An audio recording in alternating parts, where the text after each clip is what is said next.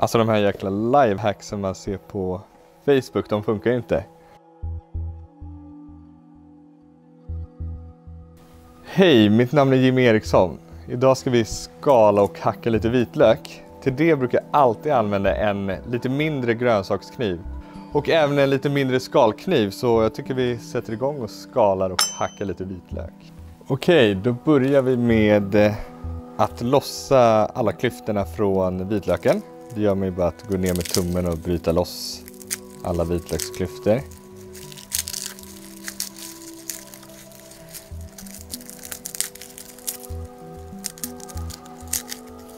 Så.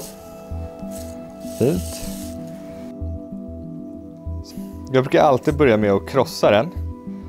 Då krossar man inte vitlöken så här. Man försöker ha skaftet utanför. Så, inte, så man inte knäcker kniven.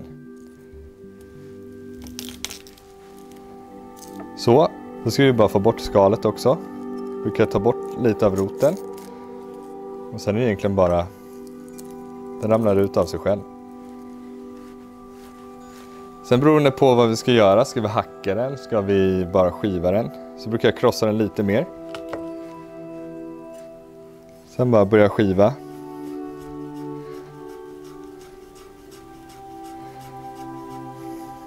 Dra av. Sen bara börja hacka över den.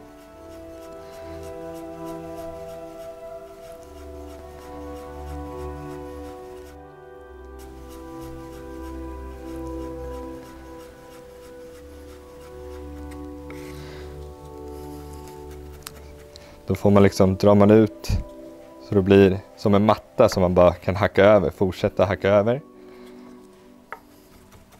Så ser man också hur finhackad den är hela tiden. Om man liksom smetar bort det från bladet så får man finare och finare finhackad vitlök. Sådär, nu har vi skalat och hackat vitlöken. Piece of cake tycker jag.